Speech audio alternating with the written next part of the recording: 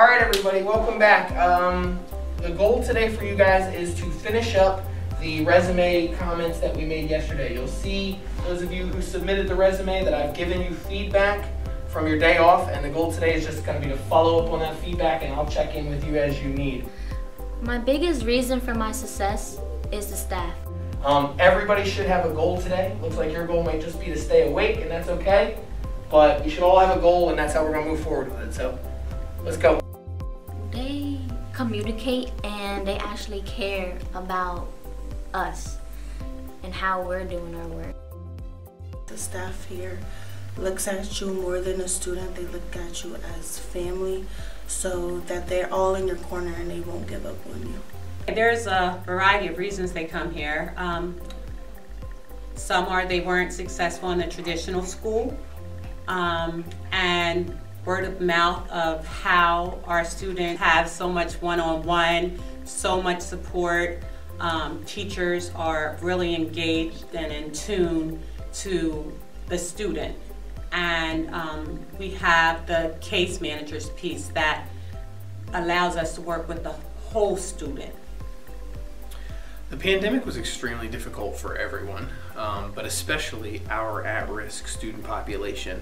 Uh, last spring, I think everybody was caught off guard. Um, and we here at Crispus Attucks, we tried to patch it together with uh, packets and positivity, I like to say. So this summer we got together and we, we began to rethink our approach. Um, came back here this year ready to provide education that would meet the needs of our students, but more importantly, offer them the support and um, the regular check-ins that became so important uh, to their success. Hello. Hey, good morning, Natasha. How you doing, it's Mr. Green? Hey, Mr. Green, how are you? I'm doing fine. Hey, just want to touch bases with you. Hey, just want to let you know, Marion, um, you know, he's definitely making improvements and he's doing a good job. So I just wanted to touch bases with you and just uh, give you another update on uh, the staff.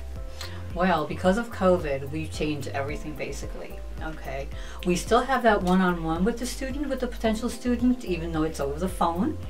We make sure that they understand that the basic documentation has to be in place. Once they do that, again, we make sure that everything is in place, we process the application, and then we move forward from that point on. Okay, and we do um, help very extensively with the Hispanic community and with the Hispanic students. We do have one-on-one with them as well, so they understand perfectly what needs to be done. Uh, once the students are accepted and the trimester starts, um, the students split their time between uh, our service site for two weeks and the class setting for two weeks.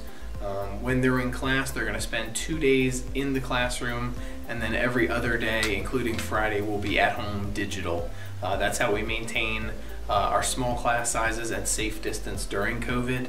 Um, it's been a really unique experience because it offers such an opportunity for one-on-one -on -one learning and the students get a lot out of it.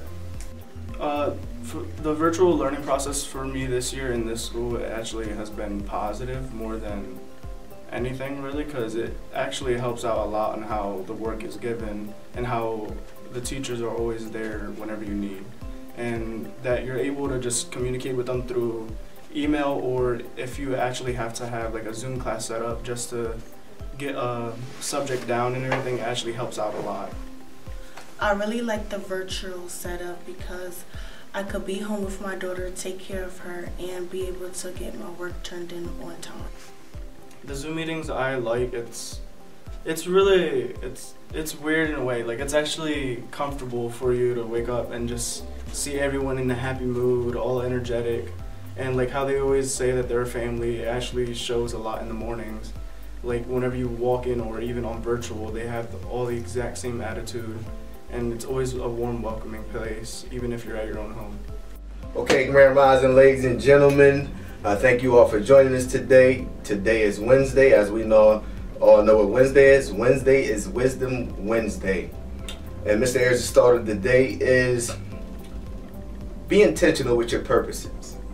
What does that mean? That means that... Well, due to the, the COVID pandemic, we're not unable to have the physical interaction that we had previously in the past. However, this particular format, uh, dealing with uh, on the on the Zoom, interacting with the young people over Zoom, allows us to go into a myriad of different topics, show different uh, educational and inspirational uh, videos that actually can get get them uh, kind of motivated to get their, their day started. So like I said, even though we took something that was possibly a negative, we actually adapted with the time and actually found a way to, to constantly reach the minds and the, the hearts of our students.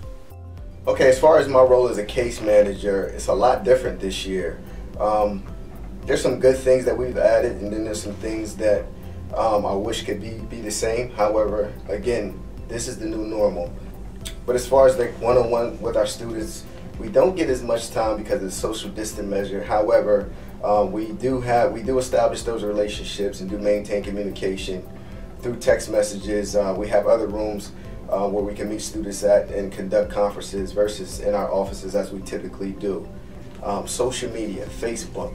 Um, everyone pretty much has a Facebook account right now. Um, community has played a major role in our success here as far as serving serving um, our students. Um, and speaking of students, they are the main advocates for our organization. Um, they are the ones who come here and have that hands-on experience what makes Crispus Attucks different from any organization. Um, and those are, you know, pretty much the seed sowers of the community, the one that spread the word um, on everything that they've gained.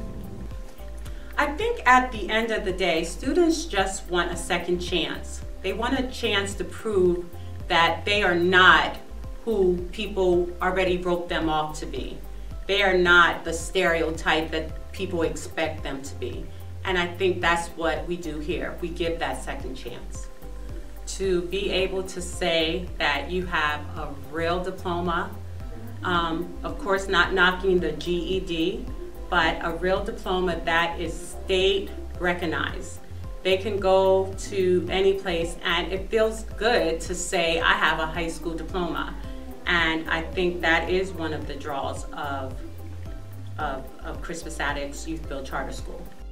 So if I could share a word of advice to uh, any fellow uh, youth build organizations, partners, etc., when it comes to you know educating at-risk students, I would I would say you have to do this thing authentically, and you have to take in a realistic approach. Um, our youth now are, are elevating their, elevated in their thought process. So the ways and means that we may have used in the past are no longer, you know, valid today in communicating effectively with them. Um, our students like to see, you know, and communicate with real people and understand that um, we're not just staff members, but we're also real people, real humans who have life experiences and can align with many of the things that our students go through. So it's important to, you know, be able to establish relationship, do those things. Um, I would say uh, if I had to leave a colleague or, you know, like I said, another youth build uh, member with anything, I would certainly say uh, be intentional with creating relationships. Something as simple as saying good morning in the day, uh, good morning uh, can change the narrative of that, that student's day.